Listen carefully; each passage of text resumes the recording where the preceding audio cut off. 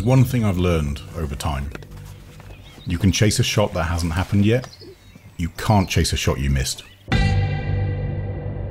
By nature of the world we live in, that moment's gone. Persistence is more valuable than luck. But being in the right place at the right time means 90% of my time is actually spent before I even pick up a tripod or a camera. Golden rule with all this stuff is to get as many pieces of the puzzle in place, so you only have a couple left that have to fit. It's the remote places that are the most fun. You know it's going to be more of a challenge exploring and finding places based on the location that lots of people haven't been to.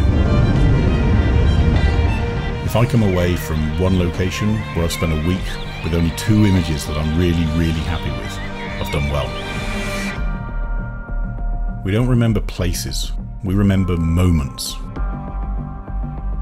The whole point of everything I do is to give you the feeling that you remember in that moment, not just the place itself. How it's displayed is as important as what is displayed. After years of trying different ways of doing this stuff, we found the best people in the industry. Our framers aren't coming at this following a guide or automated computer program. We still make our solid wood frames by hand with the same equipment and techniques that have been used for the past century. These are craftsmen that take pride in what they create.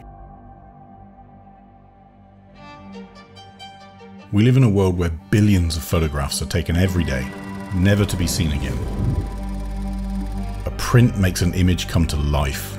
It's got presence, there's some gravity to it, it's permanent.